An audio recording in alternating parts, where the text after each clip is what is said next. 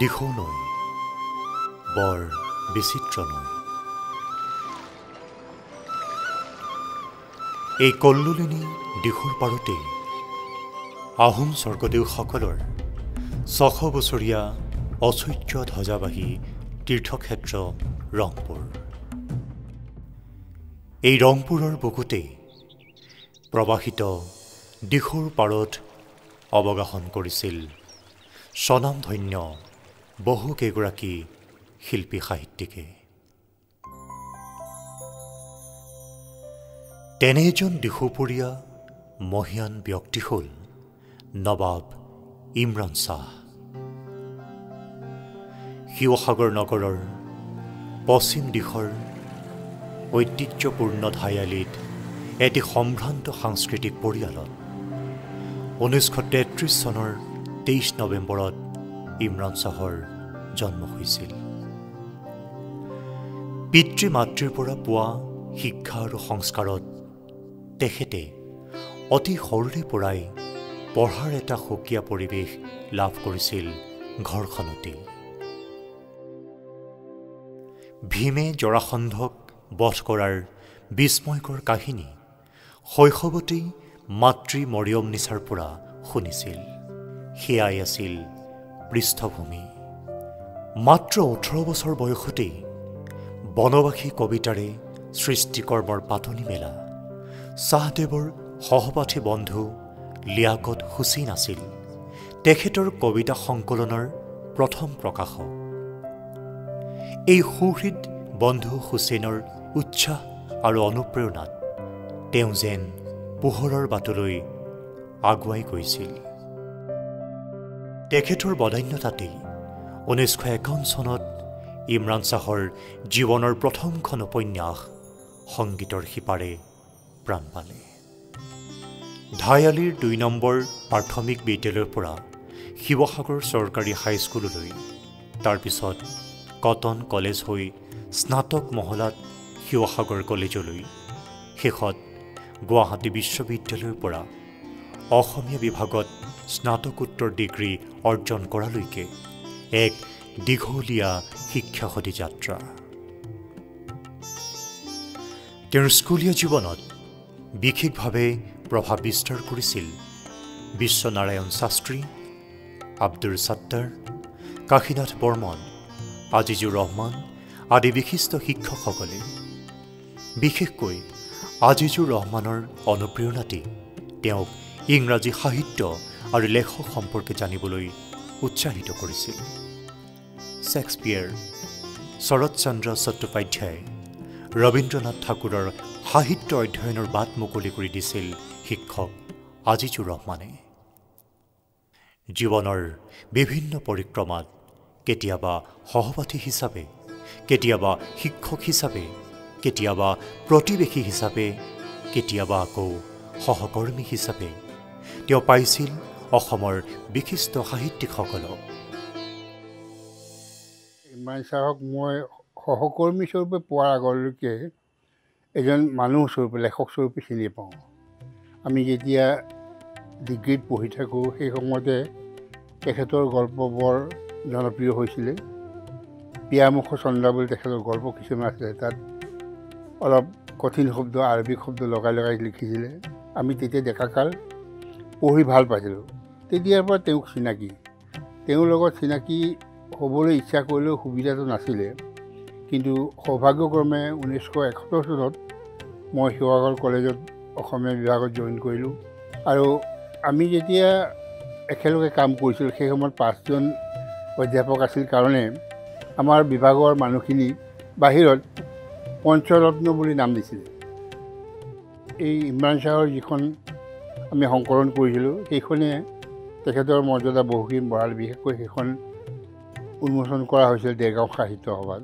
আৰু তেখেতৰ চৰ্চাটো আৰু ইমৰাণ শ্বাহৰ বিষয়ে মানুহৰ যিটো জ্ঞান সেইটো বাঢ়িল। আৰু সেইকাৰণে এটা সময়ত তেখেতক সাহিত্য সভাৰ সভাপতি পাতিব লাগে বুলি জনমত পোষণ কৰা হ'ল। ইয়াৰ পিছত আমি অৱসৰলৈ দিওঁ আৰু অৱসৰৰ পিছত আমি সাধাৰণতে এলেহুৱা হৈ পৰোঁ। কিন্তু ইমৰাণ শ্বাহৰ এলেহুৱা জীৱনটো নাই। পুৱা গধূলি যেতিয়াই যি পাৰে সদায় কলমেই ধৰি থাকে। এইটো এটা তেখেতৰ আচৰিত গুণ। ঈশ্বৰে তেনেকুৱা এটা শক্তি তেখেতক দিছে। বনবাসীৰ নিস্পৃহ উদাৰ মানৱীয় চেতনাৰে অসমীয়া সাহিত্য ক্ষেত্ৰত বিচৰণ কৰা আলোক সন্ধানী সাহিত্যিক ইমৰাণ শ্বাহৰ সাহিত্য বৈভৱৰ এচমকা অনুভা আভা বনবাসী বৈভৱ। বনবাসী হৈয়ে মই বনতে কটাম কাল। মোহ মায়া হব পৰিসৰি আলোতেই নিজকে পাহৰি। কবিতা ই এনেকুৱা ধৰণৰ এটা বস্তু যিটোৰ বিষয়ে কৈ থাকিলে বহুত ক'ব পাৰি আৰু বহুত কোৱাৰ পিছতো একো কোৱা নহয়গৈ আচলতে। হ'লেও মই সেই সৰুকালৰ পৰাই কবিতা ভাল পাইছিলোঁ আৰু এতিয়ালৈকেও কবিতা মই ভাল পাই থাকোঁ। যিকোনো সন্দৰ্ভত যিকোনো বিষয় যিকোনো প্ৰসংগতে মই কবিতা দেখিবলৈ পাওঁ। আৰু সেইকাৰণে কবিতা আচলতে ব্যক্তিভেদে প্ৰত্যেকেই নিজা নিজাভাৱে উপভোগ কৰাহে বস্তু ইয়াক লৈ বৰ দীঘলীয়া আলোচনা কৰিব প্ৰয়োজন নাই। কবি ইমান চাই মই আচলতে নহয় মই কবিতা ভাল পাওঁ ইমান চাই কাৰণ কবি হ'বলৈ যিখিনি গুণ লাগে সেইখিনি মোৰ আছেনে আমি নিজে নাজানো। কাৰণ কবিতাৰ কাৰণে মই পগলা বুলি মানুহে কয় হ'ব পাৰে কবিতা পগলা কাৰণ এনেকুৱা সন্দৰ্ভ নাই য'ত মই আচলতে কবিতা দেখা নাই। কবি ইমৰাণ শ্বাহ এদিন কবি ঈশান দত্ত হৈছিল। ইমৰাণ শ্বাহৰ নামত লিখিছিল বৰষুণ মেঘ গধূলি সীমান্তৰ জুই আৰু ঈশান দত্তৰ নামত লিখিছিল সন্ধিয়া চেষ্টা প্ৰতিশ্ৰুতি আদি ঈশান দত্তৰ বাহিৰেও তেওঁৰ অনামিকা বৰুৱা কুম্ভকৰ্ণ অনিমেষ বৰুৱা আদি ছদ্মনামত বিভিন্ন কাকত আলোচনীত লেখা প্ৰকাশ হৈছিল। বনবাসী ঈশান দত্তৰ নিৰ্বাচিত কবিতা নিসংগ ধূসৰ। এই তিনিখন ইমৰাণ শ্বাহৰ প্ৰকাশিত কবিতাৰ পুথি। প্ৰখ্যাত ইংৰাজ কবি হেমিংৱেৰ ইন আদাৰ ৱৰ্ল্ড পঢ়ি তেওঁ অপৰিচিতা নামৰ এটা গল্প লিখে। ঊনৈছশ একাৱন্ন চনৰ পৰা নিৰলস সাধনাৰে গল্প ৰচনা কৰি অহা শ্বাহ এগৰাকী সফল গল্পকাৰ। তেওঁ প্ৰকাশিত গল্প সংকলনসমূহ হ'ল বন্দী বিহংগমে কান্দে পিয়ামুখ চন্দা শিখাৰ মিনতী ইত্যাদি পথিক প্ৰতিবিম্ব বছৰৰ গল্প গল্পকাৰৰ জীয়েক দৃষ্টি পোৰামাটিৰ মালিতা স্পৰ্শৰেখা আৰু কুকুহা। ষাঠিৰ দশকত যিসকলে অসমীয়া সাহিত্যত গল্পৰে একোটা ভূমিকা পালন কৰিছিলে নিৰোজ চৌধুৰী মাউনী ৰয়ছম গোস্বামী অতুলানন্দ গোস্বামী এইসকলৰ ভিতৰত ইমৰাণ শ্বাহ এক বিশেষ ধৰণৰ নাম। ইমৰাণ শ্বাহ ছাৰৰ গল্পৰ কথা ক'বলৈ গ'লে বহু কথাই মনলৈ আহে কিন্তু মূলতঃ ইমৰাণ শ্বাহৰ এটা সুকীয়া শৈলী আছে আৰু সুকীয়া পটভূমিলৈ তেওঁ গল্প লিখে। বিশেষকৈ ষাঠিৰ দশকত তেওঁ গল্প আৰম্ভ কৰিছিলে আৰু তেতিয়া আমি দেখিছিলোঁ তেখেতে ৰোমান্টিক বিষয়বস্তুক লৈ বৰ সুন্দৰ সুন্দৰ সুখবাদ্য সাহিত্য সৃষ্টি কৰিছে। আৰু পৰৱৰ্তী সময়ত তেখেতে অসমীয়া জনমানসৰ বহু খণ্ড খণ্ড চিত্ৰ তুলি আনিছে। সেইধৰণে জনজীৱনৰ নেপথ্যত থকা বহু চিত্ৰ যিবিলাক সাধাৰণতে বহু লেখকৰ বহু গল্পকাৰৰ মাজত আমি দেখা নাপাওঁ। আৰু সাধাৰণতে মধ্যবিত্ত শ্ৰেণীক লৈ বহু গল্পকাৰ ৰচি মানে গল্পকাৰে গল্প ৰচনা কৰিছে। আৰু কিন্তু তেখেতে কেৱল মধ্যবিত্ত চৰিত্ৰ বা কাহিনীক লৈ গল্প কৰা নাই। তেখেতে তৃণমূল পৰ্যায়ৰ যিখিনি মানুহ যিখিনিক আমি সাধাৰণ মানুহ বুলি কওঁ সেই সেইসকলক লৈ তেখেতে গল্প ৰচনা কৰিছে। তাৰ ভিতৰত এটা অন্যতম গল্প মই নাম ক'ব খোজোঁ দৃষ্টি। এই দৃষ্টি গল্পটো বৰ সৰু গল্প প্ৰতিদিনৰ পাতত আমি পঢ়িছিলোঁ। তেখেতৰ গল্পৰ মাজত আমি তিনিটা বিশেষত্ব বিশেষভাৱে দেখা পাওঁ। প্ৰথমটো হ'ল মিতব্যয়িতা যিটো চুটি গল্পৰ অন্যতম এটা উপাদান। সেইধৰণে আমি দেখিছোঁ তেখেতৰ গল্পবিলাকত চুটি চুটি সংলাপ আছে যিটো চুটি গল্পৰ কাৰণে অত্যন্ত অপৰিহাৰ্য গতিকে এই চুটি চুটি সংলাপেৰে একোটা বৃহৎ বিষয় তেওঁ ইমান সুন্দৰকৈ তুলি ধৰে যিটো হয়তো বহু আধুনিক গল্পকাৰৰ ক্ষেত্ৰতে আমি দেখা নাপাওঁ। আৰু এটা কথা আমি বাৰে বাৰে লক্ষ্য কৰিছোঁ যে ইমৰাণ শ্বাহৰ চুটি গল্পত এটা সুকীয়া আমেজ আছে যিটো আমেজ তেওঁৰ নিজৰ আমেজ আচলতে। এই যিটো আমি কৈ থাকোঁ যে এজন লেখকৰ বা এজন গল্পকাৰৰ এজন কবিৰ বাবে যিটো নিজস্ব শৈলীৰ প্ৰয়োজন সেই শৈলীটো ইমৰান ছাৰৰ আছে আৰু তাৰ কাৰণে ইমৰান ছাহ ইমৰান ছাহ হৈ আছে।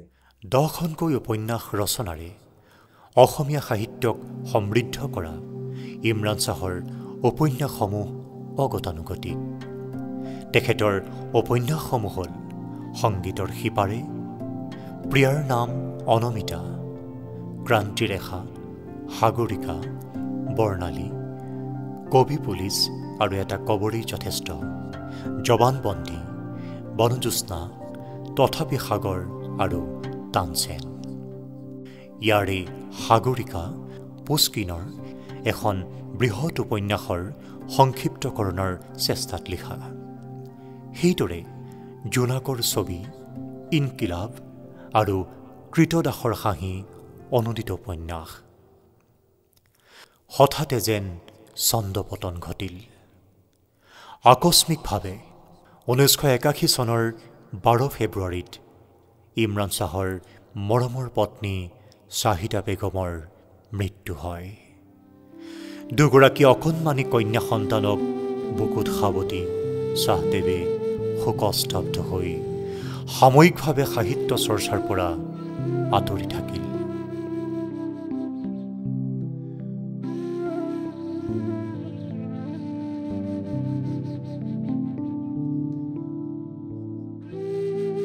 একাধাৰে কবি গীতিকাৰ ঔপন্যাসিক গল্পকাৰ নাট্যকাৰ শিশু সাহিত্যিক প্ৰবন্ধকাৰ অনুবাদক জীৱনীকাৰ সুবক্তা আৰু বাতৰি কাকতৰ স্তম্ভ লেখক ইমৰান শ্বাহৰ সাহিত্যৰ সুঁতিটো আৰু প্ৰসাৰিত হ'ল।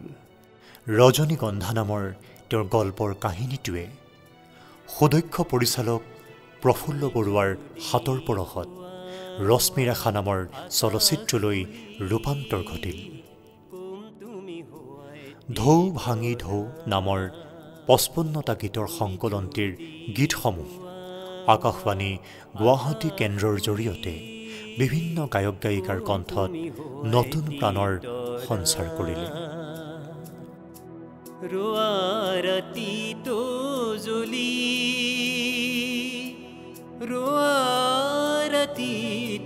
জ্বলি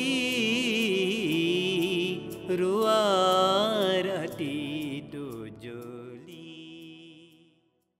মোৰ সাহিত্যিক জীৱনৰ আৰম্ভণি সময়খিনি অলপ অস্পষ্ট। কাৰণ মই দৰাচলতে লিখাৰ কথা কাহিনী ভবা নাছিলোঁ। মই কিন্তু নিচেই কম বয়সৰ পৰা পঢ়িছিলোঁ এইটো ঠিক কথা। আৰু নিচেই কম বয়সৰ পৰা পঢ়াৰ কাৰণে সাহিত্যৰ বিভিন্ন দিশ বা বিচিত্ৰ দিশৰ লগত মোৰ পৰিচয় হৈছিল। সেইকাৰণে হয়তো এটা সময়ত মই লিখাৰ কথা নিজেই ক'ব নোৱাৰাকৈ ভাবিছিলোঁ আৰু হয়তো লিখিছিলোঁ। কিন্তু যেতিয়া সাহিত্য কি জনা হৈছিলোঁ বা জানিবলৈ আৰম্ভ কৰিছিলোঁ তেতিয়াৰ পৰা মই লিখিবলৈ আৰম্ভ কৰিছোঁ। সেইটোৱে ক্লাছ এইট নাইন এনেকুৱা বছৰৰ পৰা বয়সৰ পৰা লিখিবলৈ আৰম্ভ কৰিছোঁ। আৰু পাৰিছোঁ নাই ক'ব নোৱাৰোঁ এতিয়ালৈকে লিখি আছোঁ আৰু।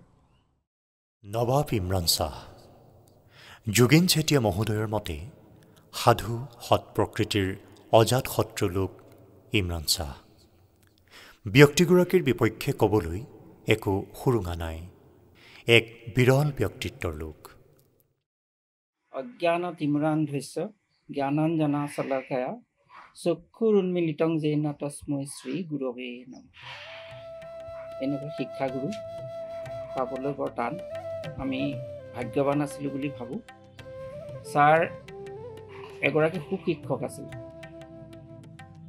এগৰাকী অত্যন্ত সৰল নিৰহংকাৰী আৰু ছাত্ৰৰ ওচৰ চাপিব পৰা ব্যক্তি আছিল। প্ৰাজ্ঞ ব্যক্তি যাক কোৱা হয়। ছাত্ৰ হিচাপে মই যেতিয়া পাইছিলোঁ হয়তো ইমান ওচৰ চাপিব পৰা নাছিলোঁ। কিন্তু ছাৰৰ যি শ্ৰেণীত পঢ়োৱাৰ যি ধৰণ সেই পঢ়াই যাওঁতে তেখেতে যিখিনি কথা আমাক কৈছিল কেৱল পাঠটোতে আবদ্ধ নাথাকি। সেইখিনিৰে আমাক বহুত উপকৃত কৰিছিল আৰু আমি বহু কথা জানিব পাৰিছিলোঁ। আৰু সেইকাৰণে ইমৰান শ্বাহ ছাৰ সকলো ছাত্ৰৰেই এগৰাকী শ্ৰদ্ধেয় শিক্ষক। সকলো প্ৰাক্তন ছাত্ৰই আজি ছাৰক ছাৰৰ নাম ল'ব আৰু ছাৰৰ নাম শুনিলে শ্ৰদ্ধাত মোৰ দুখ খাই যায় মোৰো দুখ খাই যায়। আজিও যদিও এটা সময়ত গৈ আমি একেলগে কামো কৰিছিলোঁ কিন্তু মই আজিও ছাৰক শিক্ষাগুৰুৰ দৃষ্টিৰে চাওঁ। একেলগে কাম কৰা ব্যক্তি হিচাপে কেতিয়াও নাভাবোঁ। ছাৰ মোৰ যিসকল ছাৰৰ কাৰণে মই আজি মানুহটো হ'ব পাৰিলোঁ তাৰ ভিতৰত ইমৰান শ্বাহ ছাৰ সমসাময়িক কথাৰ ওপৰত এনেকুৱা সচেতন আছিল ছাৰে ৰাজনীতি কওঁ সমাজ নীতি অৰ্থনীতি বিজ্ঞান মই আচৰিত পাওঁ ছাৰ কোনটো বিষয়ৰ ওপৰত ছাৰে সচেতন নহয় বা কোনটো সমসাময়িক কথাৰ ওপৰত ছাৰ অজ্ঞ? সেইকাৰণে মই কৈছোঁ যে এগৰাকী প্ৰাজ্ঞ ব্যক্তি ছাৰৰ কোনো পৰিৱৰ্তন হোৱা নাই। আমাৰ অকণমান বৃদ্ধ বয়সে আমাক চুইছে কিন্তু ইমৰান শ্বাহ ছাৰক চুব পৰা নাই। এতিয়াও সেই সক্ৰিয় সেই ছাৰজনেই ডেকা ছাৰজনেই আজিও হৈ আছে। আৰু সেইকাৰণে মই এটা ছাৰৰ অভিনন্দন গ্ৰন্থৰ এটা প্ৰবন্ধত মই শেষত এনেকৈ লিখিছিলোঁ ছাৰ এনেকৈয়ে থাকক।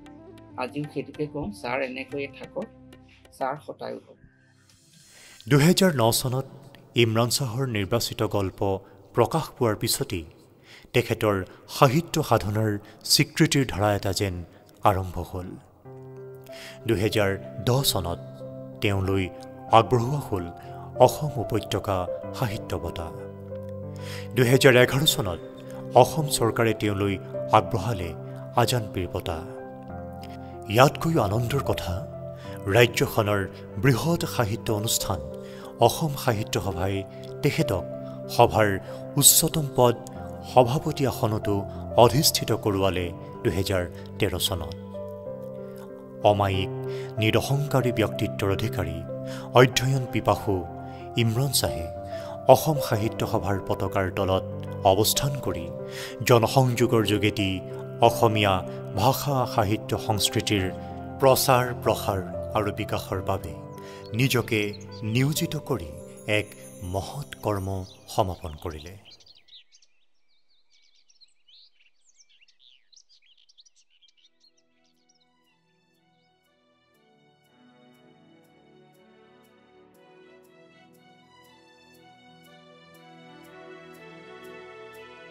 যদি কোৱা হোৱা আকাশ বুলি, কম তুমি হোৱা এটি তৰা তুমি যদি কোৱা হোৱা আকাশ বুলি, কম তুমি হোৱা এটি তৰা ৰোৱা ৰাতিটো জ্বলি ৰোৱা ৰাতিটো জ্বলি ৰোৱা ৰাতিটো জ্বলি আৰু যদি কোৱা হোৱা সাগৰ বুলি কম তুমি হোৱা এটি সৰু ঢৌ। ৰোৱা বুকুত খেলি ৰোৱা